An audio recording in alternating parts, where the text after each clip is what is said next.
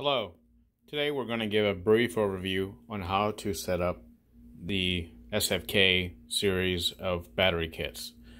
This demonstration is will show how the basic kit is set up and how you can insert your batteries, mount your BMS, and have an enclosure that will keep your battery cell safe and also give the appearance of a standard looking uh, utility or recreational use battery.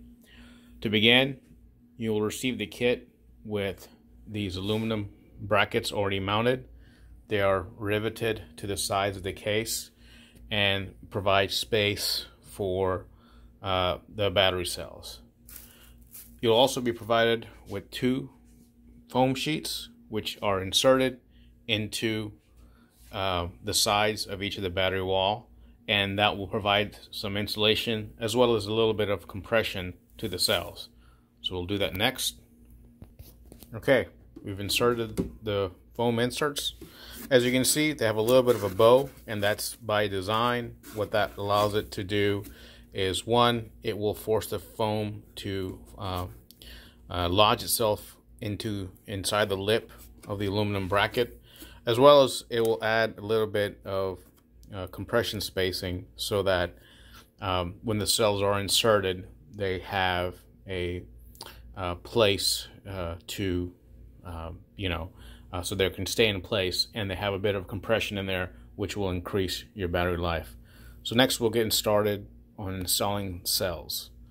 Um, beware if you have purchased the basic kit, the cells are not included, so that's something that you'll need to provide yourself. Okay, now we'll begin mounting our cells. This is a fairly simple process. You'll begin by mounting the outer cells first. So in this case, we'll have one battery with a negative term terminal facing towards us. And then we'll have another battery with a positive terminal spacing uh, towards the other side.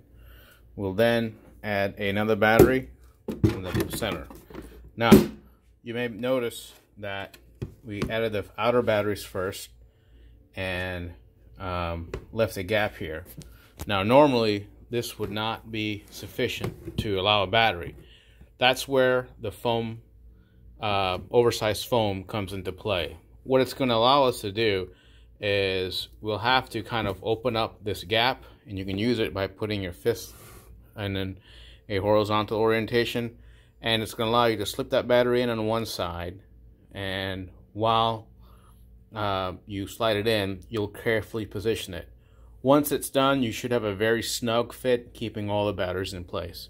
So we show you how that looks next. I'll have to do it with the camera off because currently I'm the only one filming and doing, but once completed, you'll get the idea.